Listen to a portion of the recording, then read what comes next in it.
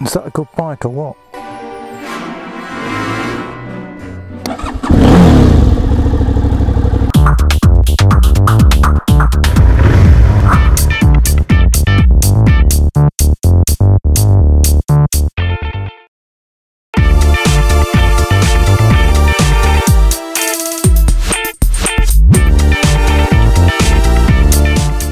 Suzuki SV650 S.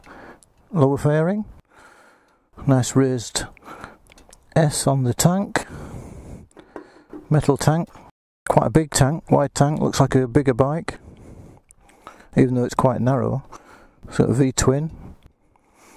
Nice thumping engine. Lovely characteristics. Great ideal bike for an A2 license. Then move up de-restrict it and you've got a full powered bike. Nice front end on it. I do like that.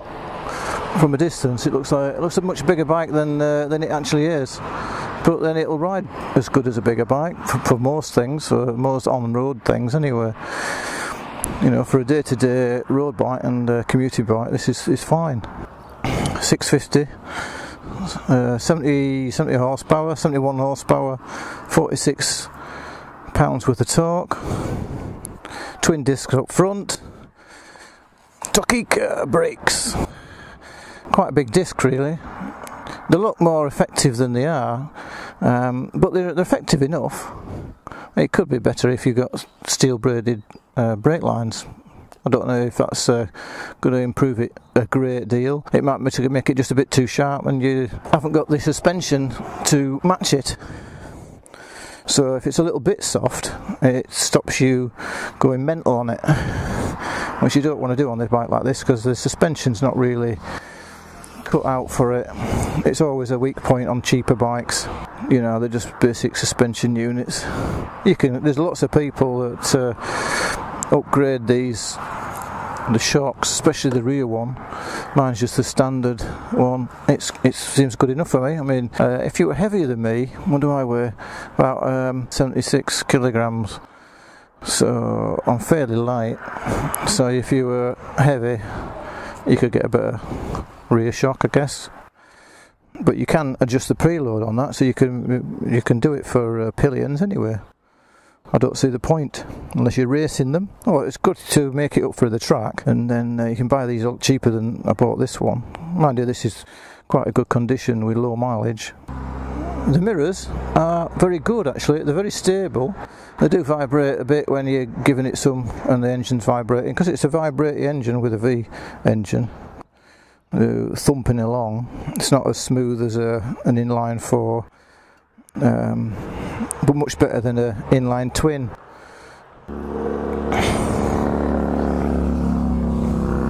A lot of bikes out today.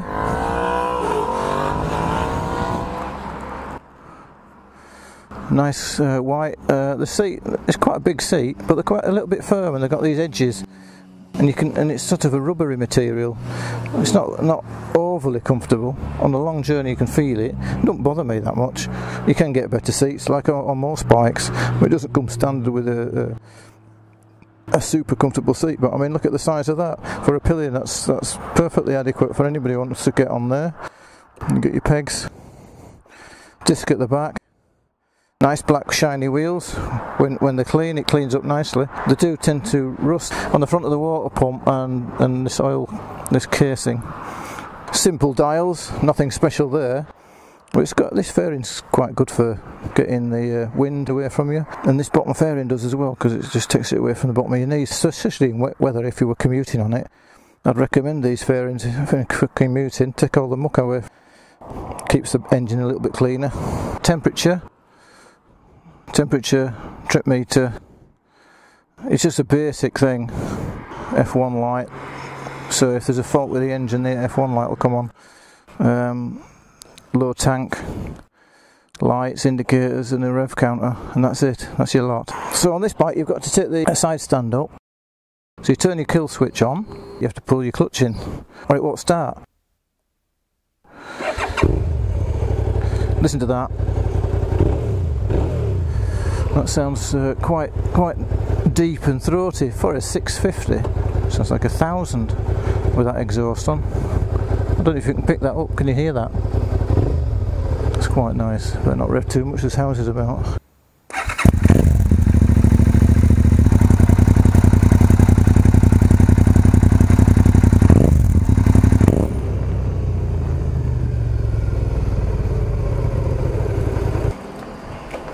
Right, get some fuel. Much needed fuel. So you open your car, yes. Say what?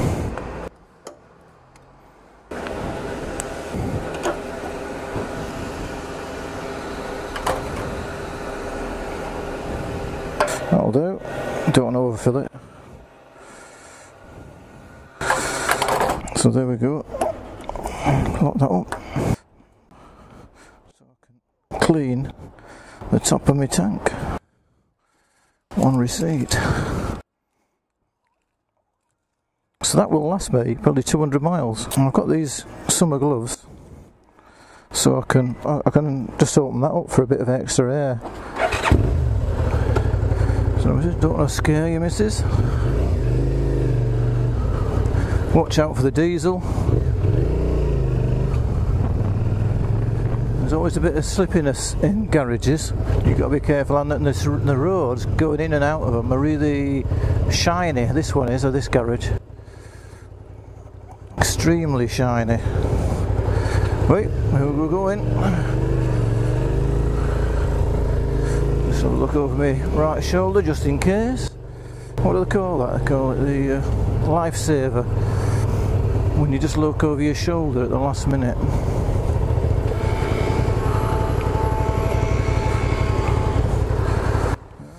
Right, here we go.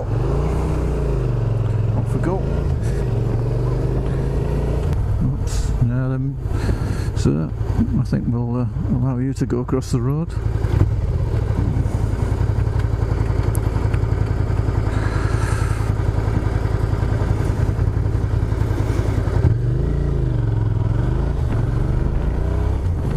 And away we go. On a nice sunny day.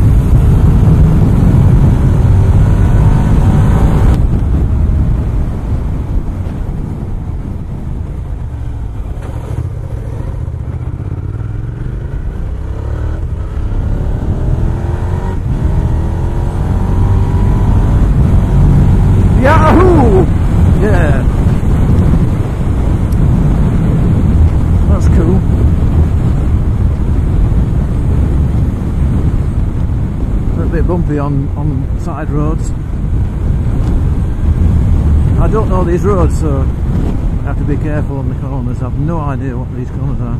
So if you don't know the road, it's best to take it steady, obviously.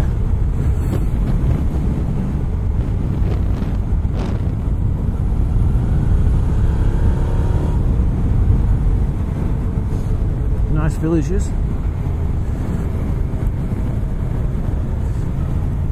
What you don't want is some hooligan driving fast through their village, making a lot of noise. I wouldn't want it.